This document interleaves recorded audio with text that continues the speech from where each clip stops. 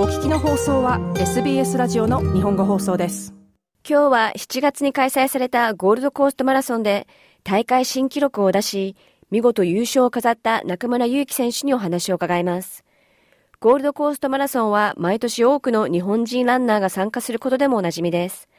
昨年は男子フルマラソンで小山直樹選手が大会新記録で優勝を飾っており、中村選手の今回の優勝により、ゴールドコーストマラソン記録保持者は男女ともに日本人となりました。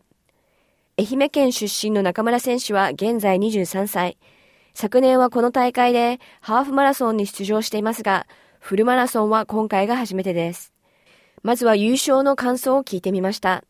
少し日が経ってるんですけど、たくさんの方からおめでとうだったり、そういうお祝いの言葉をいただいて、すごく嬉しい気持ちです。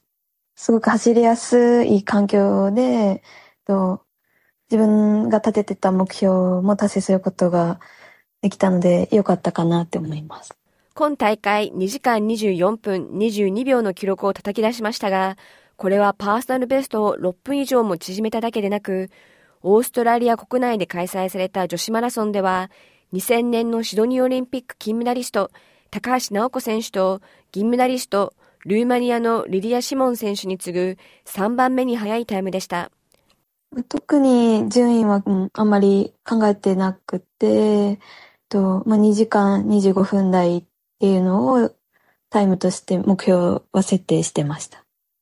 今回のゴールドコーストマラソンに向けて何か特別なトレーニングっていうのはやられましたか？直前にアメリカのアルバカーキでコーチトレーニングっていうのをしたので、まあそれが特別というか、まあ普段はできない環境で練習させてもらいました。このコースで特に印象に残っている部分などっていうのはありますか？そうですね。まあやっぱりアップダウンがないので、走りやすいなっていうのが一番印象に残ってます。まあ、結構前日だったり行った時は雨がたまに降ったりとかして結構変わりやすい天気が多いのかなと思ってたんですけど、レース当日はもう本当いい天気で、と暑くもなくてすごく走りやすかったです。特にこのコース内で厳しいと思った瞬間っていうのはありましたか？と、ちょっと風があったので、ラスト、最後折り返してから4、4、5キロくらいが、なんかすごく向かい風に感じて、一番そこがきつかったかなって思います。ゴールドコーストマラソンは美しいビーチを背景にしたコースが有名ですが、中村選手は当時、それらを見る余裕もなかったと振り返ります。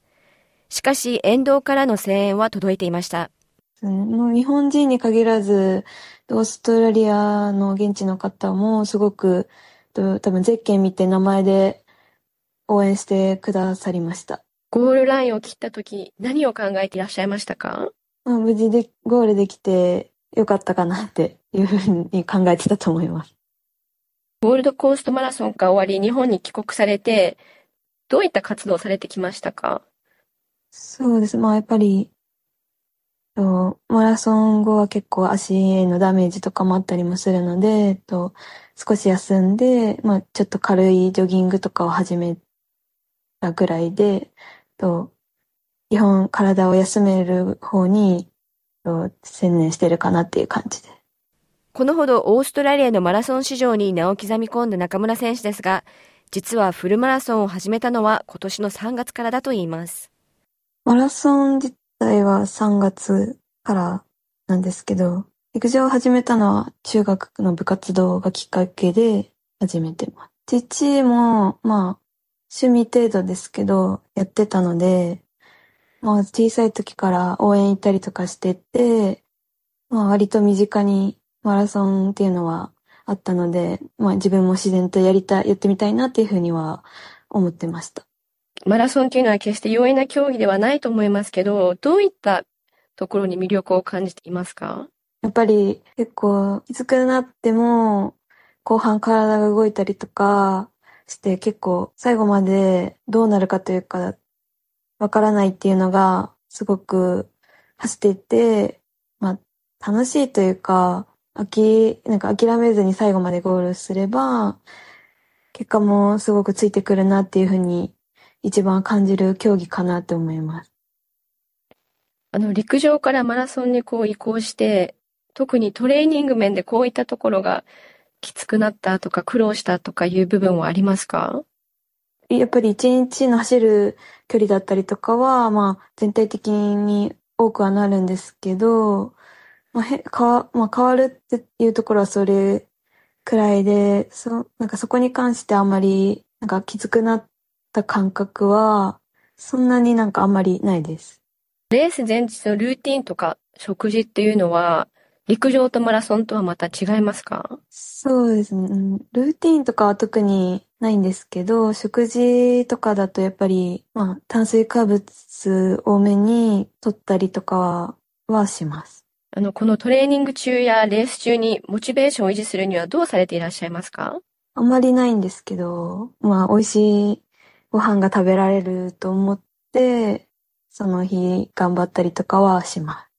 今年始めたばかりのフルマラソンで素晴らしい成績を残した中村選手。今後はどういった目標を立てているのでしょうか？今後もマラソンを中心にやっていきたいなっていうふうには考えているので、まあそのためにハーフマラソンだったり、まあトラックでも、とまあ、しっかり自己ベストだったりを更新して、もっとマラソンにつなげていけるようにしたいなって思ってます。このゴールドコーストマラソンまた戻っていらっしゃいますか？あすごく、と、今回走っていい結果を得られたので、すごくままた走ってみたいなっていうふうには思います。今日は7月に開催されたゴールドコーストマラソンで大会新記録で見事優勝した中村祐希選手にお話を伺いました。もっとストーリーをお聞きになりたい方は iTunes や Google ポッドキャスト Spotify などでお楽しみいただけます。